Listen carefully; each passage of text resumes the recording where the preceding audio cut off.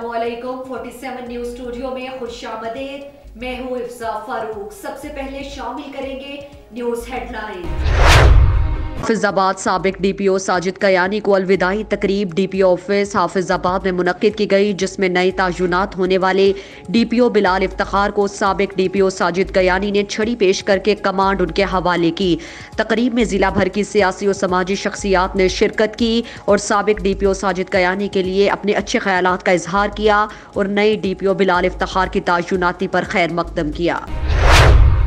ڈیرہ مراد جمالی، صوبائی مشیر، محنت و افراد قوت، حاجی محمد خان لہڑی کے اعزاز میں جی ٹی اے کے سینئر رہنما حاجی سائیں ڈنا کھوسا نے اشایہ دیا، جس میں حاجی محمد نواز کھوسا میر احمد سلطان لہڑی حاجی غلام حسین کھوسا تحصیلدار Bahadur Khan Khosa C T D officer Muhammad Isa Khosa deputy director livestock, doctor Musa Khan Khosa Sakhi Abdul Rauf Lehri Shams ul Haq Lehri D D O education Hafeezullah Khosa Faiz Muhammad سرپرا استاد خادم حسین کھوسا حاجی عبدالغفار کھوسا حاجی فرید الحق لہڑی عطا اللہ ساسولی سمیت بڑی تعداد میں علاقائی معززین و معتبرین نے شرکت کی اس موقع پر حاجی محمد خان لہڑی نے خطاب کرتے ہوئے کہا کہ وزارت اور محکمے آنے اور جانے والی چیزیں ہم سیاست میں عوامی خدمت کا جذبہ لے کر داخل ہوئے تھے اور آج بھی اسی پر کار بند ہے۔ علاقے کی ترقی اور حلقہ انتخاب کی پسماندگی دور کرنے کے لیے دن رات کام کر رہے ہیں۔ سکرنڈ انصاف ہاؤس میں ندیم راجپوت کو پی ٹی آئی شہید بے نظیر آباد ریجن کا جنرل سیکرٹری بننے کی خوشی میں پاکستان تحریک انصاف کے رہنما گل محمد رند کی طرف سے اشایہ دیا گیا، جس سے گل محمد رند نے خطاب کرتے ہوئے کہا کہ ندیم راجپوت ایک پڑھا لکھا اور مخلص کارکن ہے اس لیے ہم ندیم راجپوت کو شہید بے نظیر ریجن کا جنرل سیکرٹری بننے پر مبارکباد دیتے ہیں اور دعا گو ہیں کہ اللہ ان کو پوری ایمانداری کے ساتھ کام کرنے کی توفیق دے۔ نصیر آباد میں پاسکو کے سینٹر سے لاکھوں ٹن گندم محکمہ فوڈ سندھ نے خرید لی۔ ہزاروں ٹن گندم پیدا کرنے والا ضلع نصیر آباد آج گندم سے محروم دکھائی دیتا ہے۔ نصیر آباد سے پاسکو نے سندھ فوڈ اتھارٹی کو گندم سیل کی جا رہی ہے۔ پاسکو نے بلوچستان کی گندم سندھ کو بیچ کر بلوچستان کے ساتھ سوتیلی ماں جیسا سلوک کیا ہے۔ عوام مہنگے داموں آٹا خریدنے پر مجبور ہے محکمہ فوڈ بلوچستان کی نہلی کی وجہ سے اس سال گندم کی خریداری نہ کی جا سکی، جس کی وجہ سے گندم کا بحران شدت اختیار کر گیا۔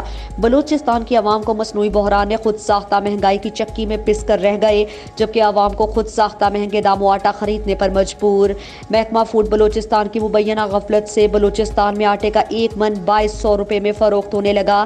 محکمہ فوڈ بلوچستان نے کوئی خریداری نہیں کی، جو کہ حکومت بلوچستان اور محکمہ فوڈ بلوچستان کے لیے ایک سوالیہ نشان ہے، جبکہ اہم ذرائع سے معلوم ہوا ہے کہ حکومت سندھ، محکمہ فوڈ نے پاسکو بلوچستان، ڈیرہ مراد جمالی کے سینٹر سے سندھ عوام کی سہولت کے لیے لاکھوں ٹن گندم خرید لی ہے۔ چشتیاں میں منہ بولے بیٹے نے بیوہ عورت سے اس کی جائیداد اور سر کی چھت تک چھین لی۔ بیوہ نسیم کوثر زوجہ محمد فاروق ذات آئی چک نمبر چالیس فتح سائلہ کا کہنا ہے۔ عثمان مظہر میرے شوہر کا بھانجا ہے، ہماری اولاد نہ تھی، جس کی وجہ سے ہم نے عثمان کو چھوٹا سا تھا تو گود لیا۔ جب بالغ ہوا تو اس کی شادی کی۔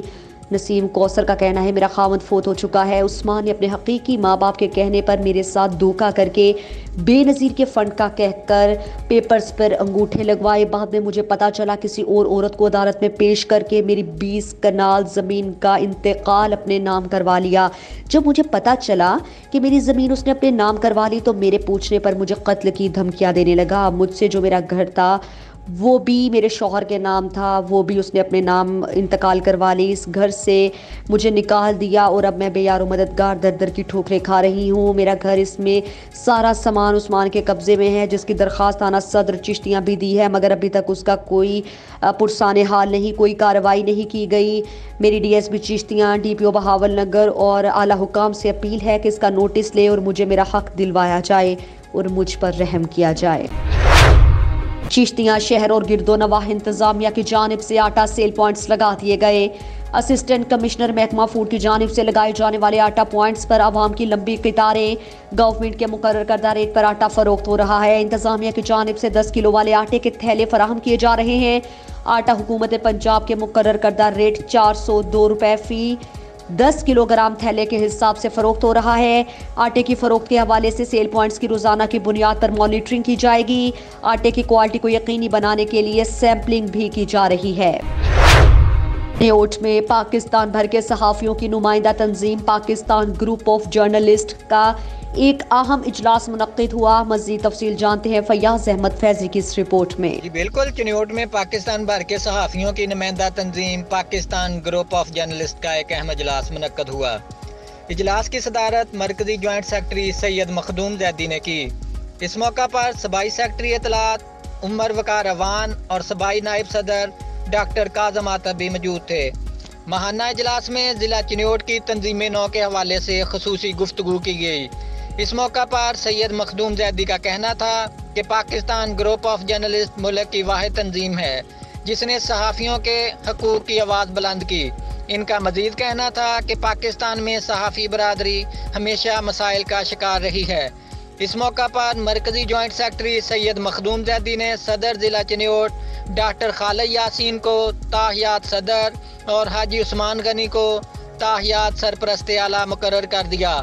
اور سید علی رضا زیدی ایڈوکیٹ کو لیگل ایڈوائزر پنجاب مقرر کر دیا۔